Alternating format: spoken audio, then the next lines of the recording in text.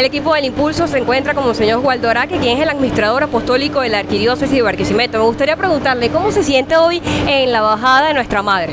Bueno, como decía, me siento con mucha alegría, mucho gozo, porque lo primero que vemos es un pueblo que ama profundamente a la Virgen María, o sea, un pueblo mariano y un pueblo que cada año eh, eh, despierta su fe, su entusiasmo para venir rendirle honores a nuestra Madre.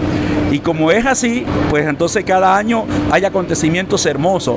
Este año eh, el equipo ha preparado una bajada especial, muy bonita, para seguir honrando la Madre y para seguir invitando al pueblo de Dios que viva su fe, que a través del encuentro con María podamos llegar a Jesús y podemos abrazar la salvación cada uno de nosotros, las bendiciones de Dios, las sanaciones que el Señor trae para nosotros y podamos ser siempre testigos de la fe que nos impulsa a vivir de cara a Dios y que nos impulsa a vivir en un mundo mejor.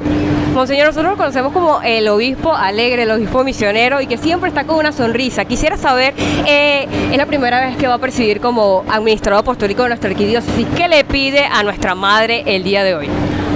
Bueno, ciertamente para mí es de mucha alegría primero saber que este año me ha tocado hoy me toca presidir con el favor de Dios la Eucaristía aquí en Santa Rosa.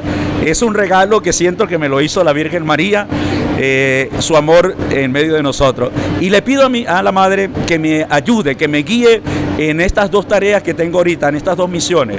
Eh, Guanare como diócesis a la cual estoy como obispo y ahora eh, aquí en Barquisimeto como administrador. Que me dé la sabiduría, que me dé la ciencia, que me dé la humildad y sobre todo el deseo de poder seguir llevando a este mundo alegría, esperanza a través de Jesucristo y el Evangelio.